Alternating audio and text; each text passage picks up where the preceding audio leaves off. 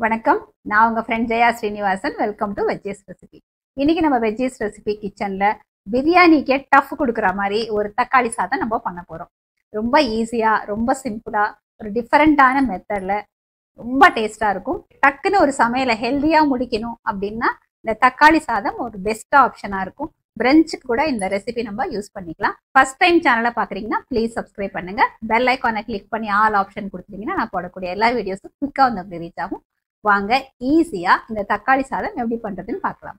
Tomato rice பண்ணுறதுக்கு ஒரு cup basmati rice எடுத்துகிட்டு இருக்கேன். பாசுமதி ரைஸ் வேணாலும் எடுத்துக்கலாம். இல்லை நம்ம ரெகுலராக சாப்பாட்டுக்கு யூஸ் பண்ணுவோம் இல்லையா அந்த ரைஸை நம்ம எடுத்துக்கலாம்.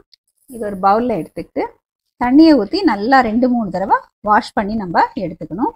நல்லா வாஷ் பண்ணதுக்கப்புறம் கொஞ்சம் தண்ணியை ஊற்றி ஒரு தேர்ட்டி மினிட்ஸ்க்கு நம்ம இதை ஊற வச்சுக்கலாம். இந்த அரிசி ஊறுறதுக்குள்ள நம்ம இந்த தக்காளி சாதத்துக்கு தேவையான ஒரு பேஸ்ட் ஒன்று ரெடி பண்ணிப்போம். அதுக்கு ஒரு குக்கரில் நாலு தக்காளி எடுத்துக்கலாம். அந்த ஒரு கப்பு அரிசிக்கு நாலு தக்காளி கரெக்டாக இருக்கும். இதில் காரத்துக்கு ஒரு நாலு மிளகாய் வத்தல் ஒரு பத்து பல்லு பூண்டு நல்லா தோல்லாம் உரிச்சிட்டு இதையும் சேர்த்துடலாம். நம்ம இந்த கப்பில் ஒரு கப்பு அரிசி எடுத்திருக்கோம் இல்லையா? அப்போ அதே கப்பில் ஒரு கப்பு தண்ணி நம்ம இந்த குக்கரில் சேர்த்துப்போம். இப்போ குக்கர் மூடிய மூடி ஒரு விசில் வர்ற வரைக்கும் நம்ம வேக வச்சு எடுத்துக்கலாம். குக்கர் விசில் வரதுக்குள்ள இந்த சைஸ் ஒரு வெங்காயம். வந்து நீள நீளமாக கட் பண்ணி எடுத்துக்கலாம். ரெண்டு பச்சை மிளகாயை ஸ்லிட் பண்ணி எடுத்துப்போம் இந்த அளவுக்கு இஞ்சியை நல்லா தோல் சீவிட்டு துருவி வச்சுக்கலாம். மீடியம் சைஸில் இருக்கிற ஒரு தக்காளியை நல்லா பொடியாக கட் பண்ணி வச்சுக்கலாம். குக்கர் ஒரு விசில் வந்தாச்சு. குக்கர் முடியை திறந்துருவோம். எல்லாமே பர்ஃபெக்டாக வெந்திருக்கு. இது எல்லாத்தையும் நம்ம வடிகட்டி எடுத்துக்கலாம். இந்த தண்ணியை கொட்ட வேண்டாம். இந்த தக்காளியில் நல்லா சூடு ஆறுனதுக்கப்புறம் இந்த ஃபுல்லாக நம்ம எடுத்துருவோம். எடுத்துட்டு இந்த மிக்ஸி ஜாரில் போட்டு நல்லா ஃபைன் பேஸ்ட்டை நம்ம அரைச்சி எடுத்துக்கணும். இந்த தண்ணியும் கொட்ட வேண்டாம். இது நமக்கு யூஸ் ஆகும். ஸ்டவ்வில் ஒரு குக்கர் வச்சுட்டு ரெண்டு டேபிள் ஸ்பூன் எண்ணெய் ஆட் பண்ணிக்கலாம். ஒரு டேபிள் ஸ்பூன் நெய். இந்த எண்ணெய் வந்து நல்லா சூடாயாச்சு. இதில் ஒரு டீஸ்பூன் சோம்பு சேர்த்துக்கலாம்.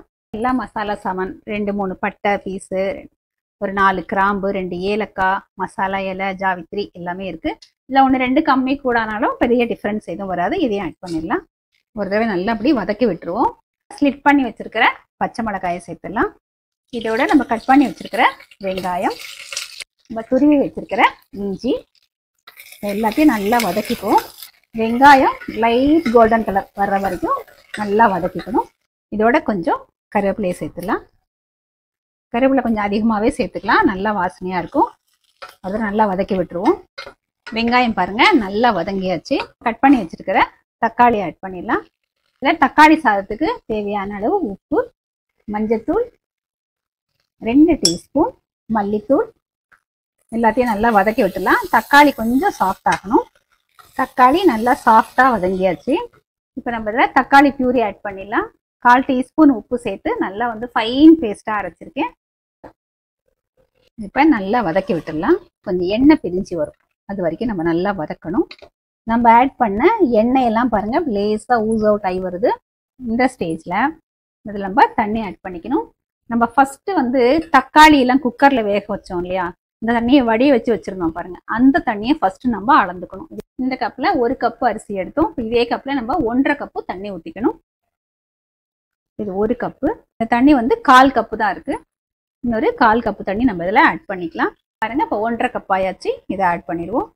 ஒரு தடவை இதை நல்லா மிக்ஸ் பண்ணிவிட்டு டேஸ்ட் பண்ணி பாருங்க. உப்பு எதுவும் கம்மியாக இருந்தால் நம்ம இந்த ஸ்டேஜில் ஆட் பண்ணிக்கலாம். இது நல்லா ஊறு கொதி வரட்டும். பாருங்க தண்ணி வந்து பாயில் ஆக ஆரம்பிச்சாச்சு.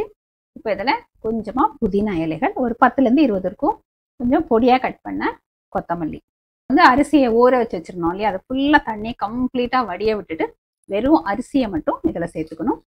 நல்லா ஜென்ட்லாக ஒரு தடவை மிக்ஸ் பண்ணி கொடுக்கணும். ஏன்னா நம்ம இது ஊற வச்சிருக்கிற அரிசி இல்லையா ரொம்ப சாஃப்டாக இருக்கும். நல்லா மிக்ஸ் பண்ணியாச்சு. இப்போ குக்கர் மூடியை மூடிட்டு ஒரு விசில் வர்ற வரைக்கும் நம்ம வேக வச்சு எடுத்துக்கலாம். ப்ரெஷர் ரிலீஸ் ஆனதுக்கப்புறம் பார்ப்போம். குக்கர் ப்ரெஷர் ரிலீஸ் ஆகிடுச்சு திறந்து பார்த்துடலாம். திறக்கும் போதே அப்படியே கம கம கம நல்லா வாசனையாக இருக்குது நல்லா உதிருதுரா பொல பொலன்னு சூப்பராக வந்திருக்கு பாருங்கள் அப்படியே ஒவ்வொரு சாதமும் அப்படியே தனித்தனியாக இருக்குது சர்விங் பவுலுக்கு நம்ம எடுத்துக்கலாம். டேஸ்டியான தக்காளி சாதம் சர்விங்க்கு ரெடி வாங்க தக்காளி சாதத்தை நம்ம டேஸ்ட் பண்ணி பார்த்துடலாம். இன்னைக்கு தக்காளி சாதத்துக்கு தொட்டுக்கிறதுக்கு வெள்ளரிக்காய் ராய்த்தா பண்ணியிருக்கேன். சிப்ஸ் அதெல்லாம் கூட நல்லா இருக்கும் நம்ம ராய்த்தாவோட தக்காளி சாதத்தை டேஸ்ட் பண்ணி பார்த்துருவோம். அட்டகாசமாக இருக்குங்க. செம்ம சூப்பராக இருக்குது சாதம் நல்லா பர்ஃபெக்டாக வெந்து நல்லா சாஃப்டாக உதிரி உதிரியாக அருமையாக இருக்குது நம்ம தக்காளியை வந்து தனியாக பிளான்ச் பண்ணி அதை அரைச்சி பியூரியா போட்டோம் இல்லையா? அதனால தான் பாருங்கள் எவ்வளோ நல்லா பிரைட்டான ஒரு கலர் கிடச்சிருக்கு. இந்த தக்காளியில் இருக்கிற புளிப்பையும் இந்த காரத்தையும் எல்லாத்தையும் வந்து சாதம் வந்து நல்லா அப்சர்வ் பண்ணியிருக்கு. அதனால தான் அவ்வளோ டேஸ்ட்டாக இருக்குது கம்மியான மசாலாவும் நம்ம போட்டிருக்கோம். அதனால ரொம்ப ஹெவியாகவும் நமக்கு தோணாது. பியூரியை வந்து நல்லா கொஞ்சம் எண்ணெய் நல்லா பிரிஞ்சு வர வரைக்கும் நம்ம நல்லா வதக்கியிருக்கோம் இல்லையா? அதனால கொஞ்சம் கூட இந்த பச்சை வாசனை அப்படிங்கிறது இல்லவே இல்லை. ரொம்ப பர்ஃபெக்டாக இருக்குது இதே மாதிரி இதே மெத்தடில் இந்த தக்காளி சாதம் நீங்கள் ட்ரை பண்ணி பாருங்கள் கண்டிப்பாக உங்களுக்கு ரொம்ப பிடிக்கும். இது லஞ்ச் பாக்ஸுமே வந்து ரொம்ப யூஸ் ஆகும். இதே மாதிரி நீங்கள் ப்ரிப்பேர் பண்ணி பார்த்துட்டு எப்படி வந்தேன்னு கமெண்ட்டில் சொல்லுங்கள் லைக் பண்ணுங்கள் உங்கள் ஃப்ரெண்ட்ஸ் அண்ட் ஃபேமிலியோட ஷேர் பண்ணுங்கள் புது ரெசிபியோட நாளைக்கு நான் உங்களை மீட் பண்ணுறேன் தேங்க்ஸ் ஃபார் வாட்சிங்